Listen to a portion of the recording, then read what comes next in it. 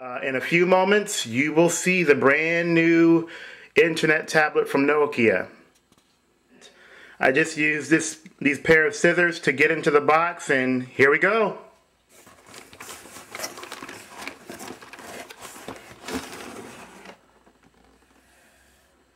Here we go. Here we have it in the flesh. It's the Nokia N810 internet tablet with the QWERTY keyboard and I will now have the pleasure of opening up the box. If you ever get a Nokia device box and this is open or torn up, uh, be wary of that unless you're getting it from a private seller. Tear this off.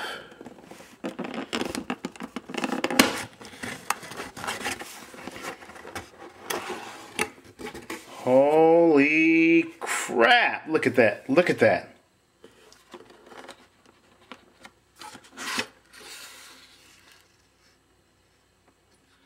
And as you can see, the packaging looks not that much different from the N800, the way that it looks now, except for the, uh, the open QWERTY pad. We have a thin plastic shield over the device itself, and here it is in all of its glory.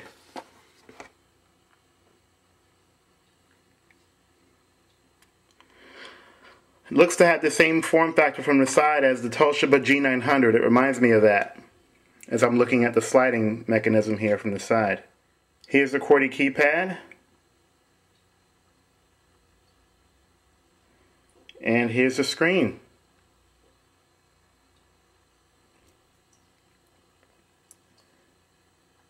Now I'm noticing here that there is um, overall a more of a metallic finish. The uh, N800 had a metallic finish on the front, but on the back it was mostly plastic.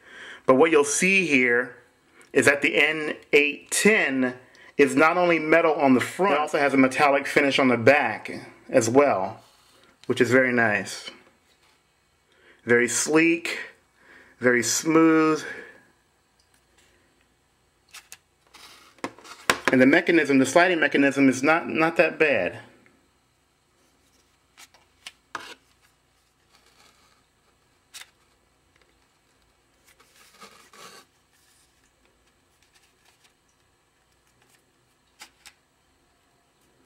There goes the sliding mechanism there. Um, the noticeable differences that I'm, as I'm looking at it, that I notice are the speakers. You have, I guess, stereo speakers on either side of the device instead of on the front here, like there was on the um, N800. I'm not too sure what these are all about. I assume this is the camera, the front-facing camera for uh, video calls. And I guess these are buttons here for navigation. And here's some sort of a light that I believe may be an indicator light. And um, these, this may be the full screen button that uh, widens out the screen to full view. And these may be the, um, I guess, the zooming buttons that are the same on the uh, N800. And there is the infamous power button here. And uh, I guess that's, uh, I'm not sure what that is. I'll have to take a look at that.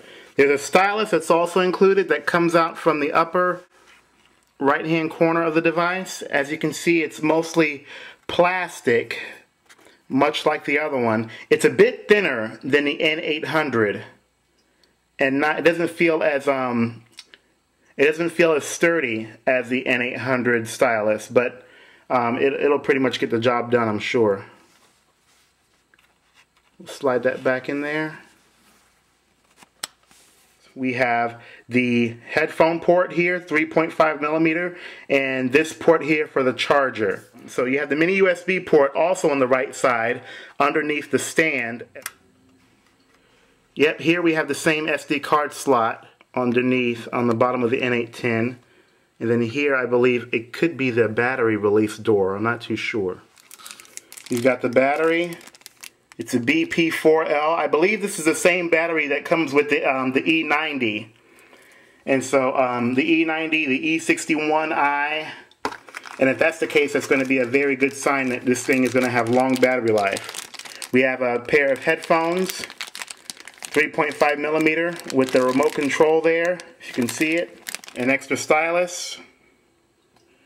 We go underneath the package.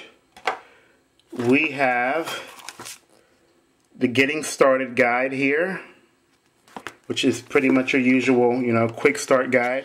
Now this is an interesting development here guys. Um, it turns out that there is a carrying case for the N810 and it looks very much different than the um, N800. There's a tag there for Nokia. Uh, instead of being like the N800 with the uh, suede feel carrying case, you have this one that appears to be leather. It's a gray leather that's it feels like it's pretty good quality. And then you have some sort of a, I guess this is the uh, elastic uh, band here that holds it in from the side. And then inside you have a, you have a blue uh, velvet suede-like cottony soft material that protects it as it's being held. You have a, a polishing cloth for the screen, which is nice. In addition to the usual USB charging cord or connecting cord, this is the AC adapter and then you have the charging the charging plug which also goes into the port next to the headphones on the right side of the N810 it looks like some sort of a kickstand in which you'd put the uh, I'll have to check test this out a little bit later. Yeah I think that's exactly what it is because as you can see if you can see it I apologize, it's still in a plastic bag and I can't seem to get it out with one hand. But if you can see here, it looks like some sort of a swivel that connects to the back of this. So, you have some screws here. Alright, well that's pretty much it. We've got this whole box undone for the N810. And um, in the midst of all this mess, I've lost track of the device. there it is. Well, there you go. Um, I'll put up another video comparing this to the N800. And I'll talk to you guys later.